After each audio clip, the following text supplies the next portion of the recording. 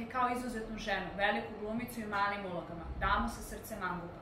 Znamo je po sjajnim rolama u filmovima Davitelj protiv davitelja, Nacionalna klasa, Grlovu jagode, Vesna koža i mnogim drugim. Ali malo ko zna za njenu najveću ulogu, ulogu koja je spasila život. Upravo o tome će nam pričati Rahela Ferrari, ili bolje da kažem Bella Rockenfrein.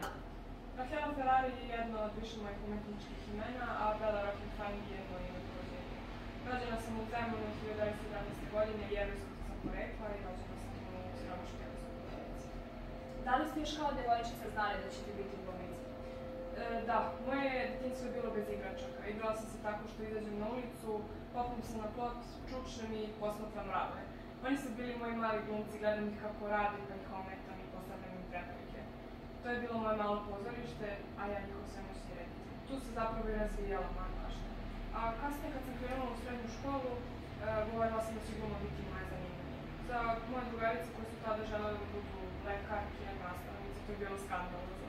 Jedinu podršku i razumevanje sam imala od moje nastavnice koja mi je jednom prilikom rekla budi glumica jer biti dobra glumica to je lepo kao biti hrenu. Na pozorišne daske ste dospeli prvo u Novosadskom narodnom pozorištu, kasnije u Umetničkom pozorištu u Beogradu. E, Da, nažalost, moje igranje u području u Beogradu nije dugo trajalo. Izbio je rat, a za jevreje tada nije bilo mesta. Možete li da nam ispričate kako ste uspeli da preživite holokaust? Pošto sam odbila da se prijavim kao jevrejka i nosim žutu zvezdu, morala sam da se krijem. Sakrivala sam se po podrumima i tavanima svojih prijatelja i poznanika, predstavljajući se kao vojvođanska glumica Ruža. Znala sam da jedino tako mogu sebi da spasim život. Kada ste pomislili da je kraj skrivanju i da ćete biti uhvaćeni?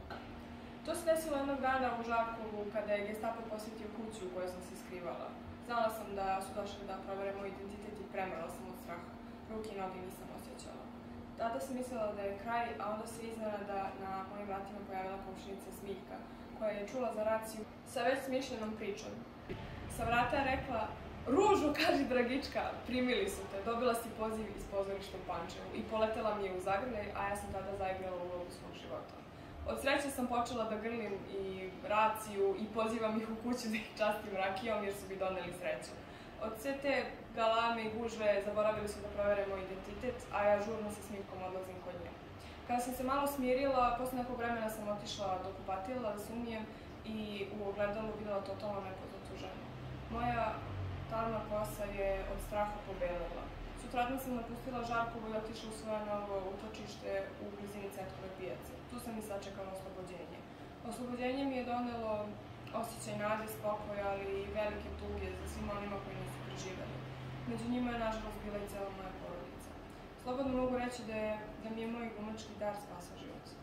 Rahelina priča koliko god bila neverovatna istinite. Talenat, sreće i prijateljstvo su spasili život, a nama omogućili da uz nju uživamo na pozorišnoj sceni i filmskom